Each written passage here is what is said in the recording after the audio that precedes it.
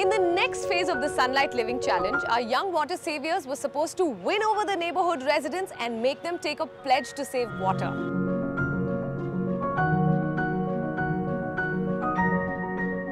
Sometimes our houses waste a lot of water. We have to do something.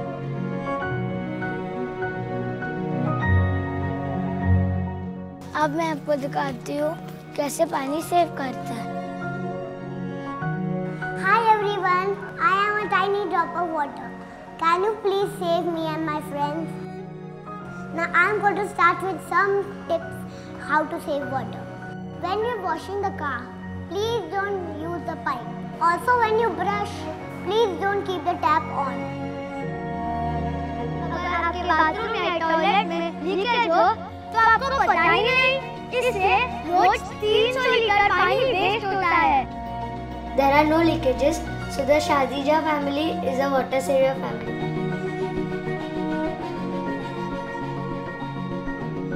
From a small idea on paper to becoming a major mission for these tiny shoulders, it's inspirational to see Project Sunlight take shape.